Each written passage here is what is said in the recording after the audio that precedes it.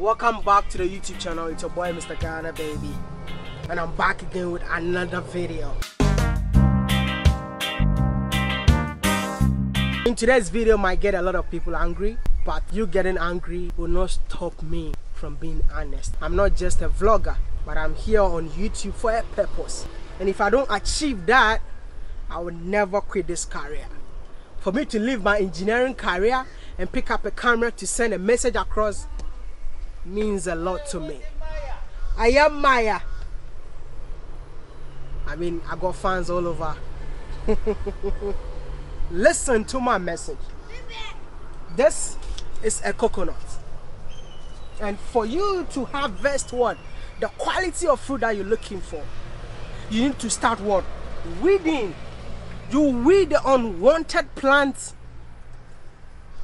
After that, you can even go extreme by pruning. But if you have this coconut as like in your backyard garden, can even go extreme of watering this coconut every single day before this coconut what grows. That is my message to my fellow brothers and sisters out there. Listen very carefully. It's about solutions not the problem. Because we've already identified that this is the problem. If you don't water this coconut it will never give you the fruit that you're looking for. So you need to what? Act. That is what the black community is lacking. Actions. Enough of the talking. I mean this week has been so crazy. Everyone is talking China, China, China is taking our resources. Oh my goodness, how long are we going to continue talking? We already know the problem. What is the way forward? Immigration is not a crime. If you're watching this video, you might be from Ghana, but you're living in the United States. You might be from Nigeria, but you're living in the UK. You might be from Sierra Leone and you'll be living in China. So a Chinese person moving from China to Ghana or anywhere in Africa is not a crime. Tell me, is it a crime? It's not a crime. But what they are doing in here, ask yourself who is allowing them to do what they are doing. It's us, the Africans, because as an African man living in China, cannot just go to any village in China and start digging for gold or digging for any natural resources that belongs to China. It doesn't happen. It's our own selves that are allowing all these things to happen. Almost everyone is angry on the internet. And bloggers and vloggers are taking advantage of the situation. They are sharing old footages that will make you more angry. I mean, I saw a video of people saying that the Tanzanian president canceled the 10 billion loan from the Chinese people. That's an article somewhere 2016. And people are bringing it up and you think that something is happening? brother, nothing is happening. All those stories that you've been seeing lately are old footages. I mean, so many people are tagging me in it. Every African man is angry about the way they are treating our fellow brothers and sisters in China. But let me ask you, is China the only country that is treating black people this way? No. So it's about time we sit down and think about why is all these things happening? What is the way forward? We've been saying for decades that Europeans are stealing from us.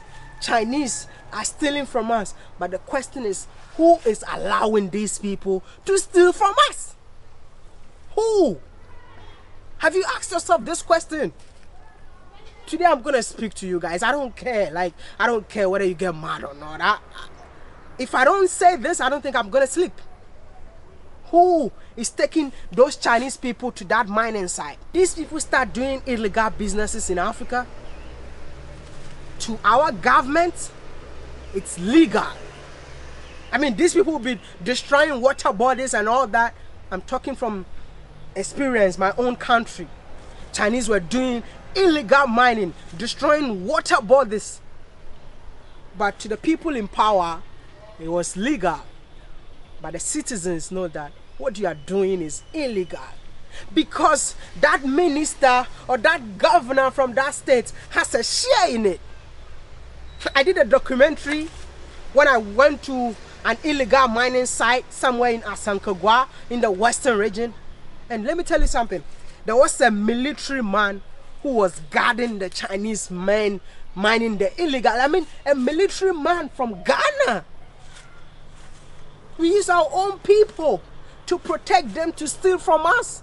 And when he's going to his country, the same people, the same military men are going to escort this whole thief and take him to the airport and he flies and go back.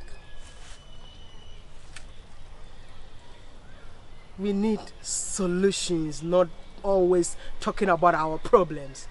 This is why I've been saying that Africa needs a second independence. Not from what our colonizers, but the people leading the continent. If these people care about the continent so much, why are they not building factories? Why are we exporting our natural resources instead of them building factories and employing people to reduce unemployment in Africa? But rather, they will send their daughters and sons to Europe to go and study just like them because most of them have big, big degrees from big, big universities all over the world. Mention their names and you know what I'm talking about. It feels so sad that when an African man gets power, he thinks about what he's gonna wear. He thinks about what he's gonna possess. Like he wants to build houses, he wants to buy Lamborghinis, he wants to buy like big, big cars to show off that, yes, I have money. But that money can build a hospital. That money can, can build a factory to change something. We keep on importing a common toothpick, even a matchbox. they cut the trees from Africa, they take it to Europe or whatever, and they bring it to us. You know what? I went to Korea and I bought a chocolate called Ghana. Can you imagine? I asked them why did they call this chocolate Ghana? They said because the cocoa bean is coming from Ghana. Ghana is one of the top producers of what? Cocoa. Ask yourself, how many chocolate factories do we have in Ghana? Nigeria, crude oil. They've been sucking Nigerians crude oil for so long. But the people living in that country is suffering. This is why I say that we need a second independence in Africa, not from our colonizers, but from the people leading the continent right now. Because it feels so sad to go to villages to see people, ordinary citizens of the country, suffering. Whilst these people live in mansions. You guys, I don't even get it. And when it comes to politics, they will come and tell you that I'll build you schools, I'll build you hospitals. I'll construct the best road for you. Is that a political message? Is that a party campaign message? We need factories, not hospitals or whatever. Those things are necessities. Even when you are building a hospital, you have to build a world-class hospital, not just an ordinary one. And I'm going to come back again to you guys.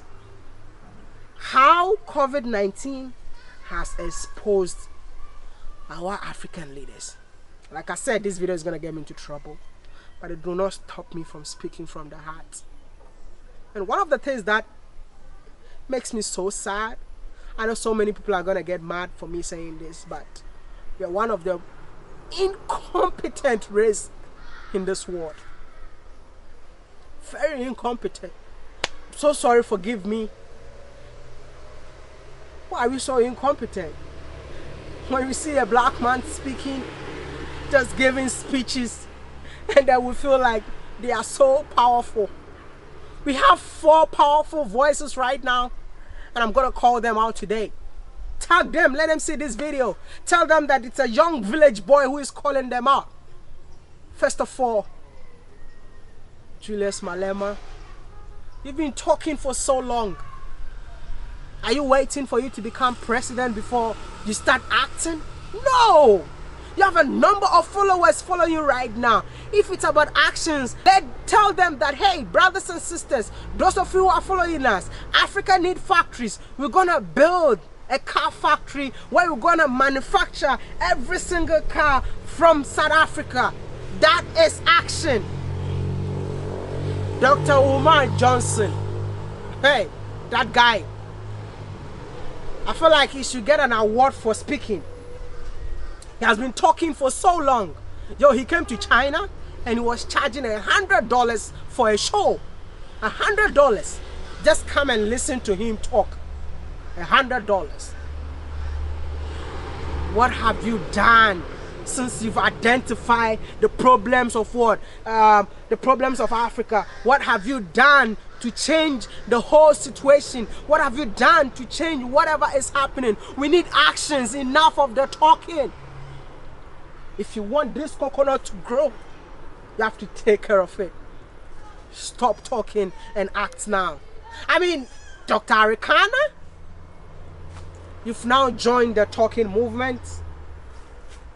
Speaking for Africa, speaking, you've identified all the problems.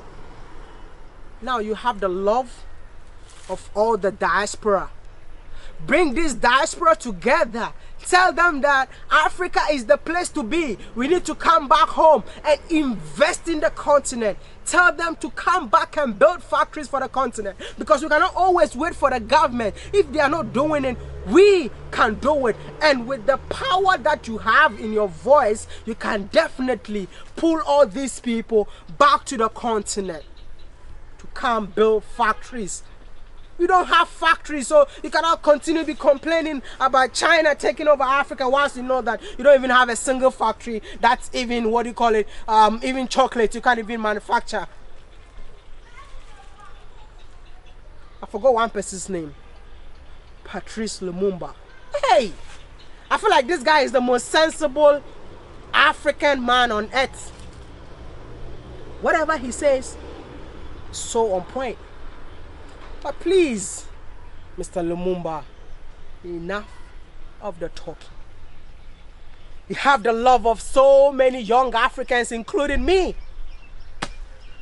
Use your platform to tell Africans that if politicians are not helping us, we have to come together collectively build factories because I feel like that is the only solution. If we know that we have factories in Africa, our brothers and sisters will never go to China to get discriminated. This is the message on my heart, and I just want to share with you all. If you agree with me, you can leave a comment if you disagree with me, I stand to be corrected. If you disagree, feel free and leave a comment. So boy, Mr. Ghana, baby. And if today's your first time seeing this face on your screen, please don't forget to join the family, subscribe, and support the movement.